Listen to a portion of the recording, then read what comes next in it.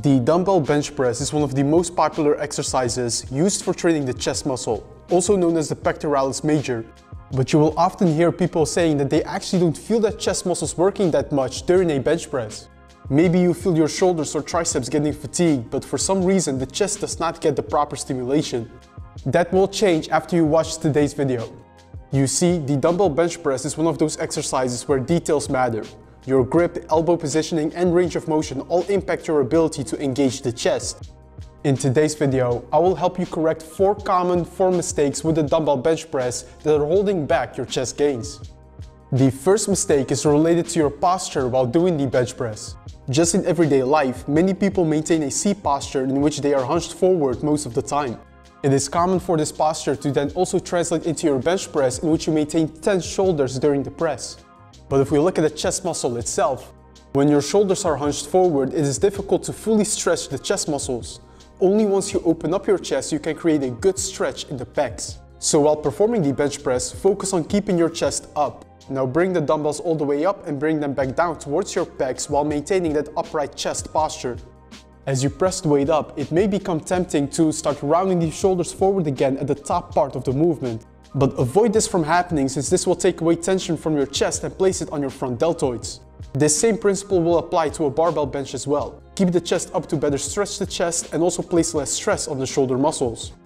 The second mistake is related to your elbow positioning during the dumbbell bench press. A common pressing mistake is keeping your elbows flared, but to optimally train the chest we want the elbows to be slightly tucked. A large portion of your pec muscle fibers run diagonally up, so to best align the resistance of the dumbbells with your chest muscles, it also makes sense to press the weight up in a diagonal fashion, which involves keeping the elbows slightly tucked.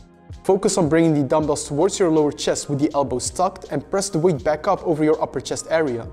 This is known as maintaining a J-curve pressing path. Not only will this better engage your chest, but you also avoid potential shoulder issues because keeping the elbows flared during a dumbbell bench press puts the shoulder in a more tight position which places more stress on your rotator cuffs.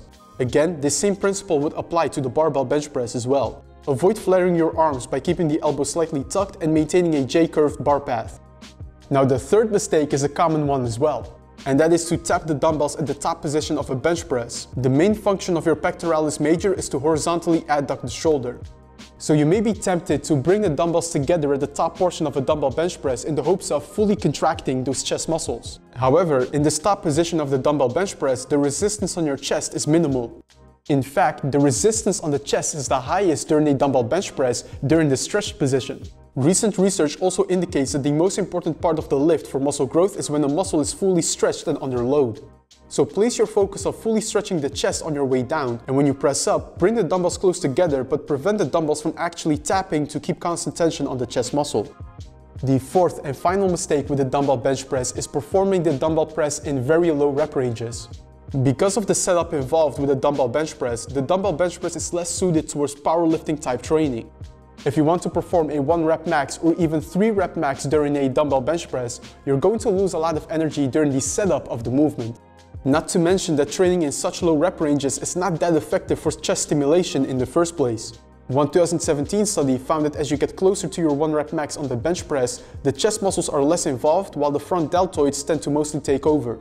The same research paper found that the chest muscles were most activated when they were trained with 70 to 90% of your 1 rep max, which can be considered something like a 4 to 12 rep range.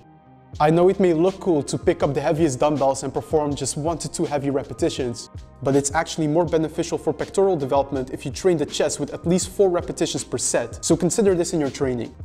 Now, when it comes to today's video, you may have noticed that I mostly spoke about a dumbbell bench press when it comes to stimulating your chest through a press. This is because with a dumbbell bench press, you're able to tweak your form a bit more than with a barbell bench. But simply, with a dumbbell bench press, you have more freedom of movement, while with a barbell bench press, you have to adapt to the shape of the bar. However, both exercises are effective for chest stimulation. If we look at muscle activation research that compares these two exercises, the dumbbell and barbell bench press were found to be similarly effective for pec stimulation.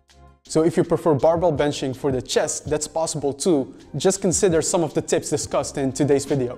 Like maintaining tucked elbows, keeping your chest up and training mostly within the 4 to 12 rep range. And lastly, as a bonus tip, when it comes to bench pressing for chest development, the triceps are often seen as an enemy. Some people claim that their triceps are becoming overactive in the bench press. But having strong triceps is actually helpful for chest training. Your triceps work synergistically with your chest in a bench press. Strong triceps directly contribute to your chest training by allowing you to overload the pectoral muscles with more weight. This is supported by research as well. In one study, training the bench press and skull crushers was found to produce better chest muscle growth compared to only training the bench press over a 10-week training period. This likely is because having stronger triceps allowed the participants to bench press more weight, which also allowed them to impose greater demands on the chest muscles, resulting in greater chest muscle development.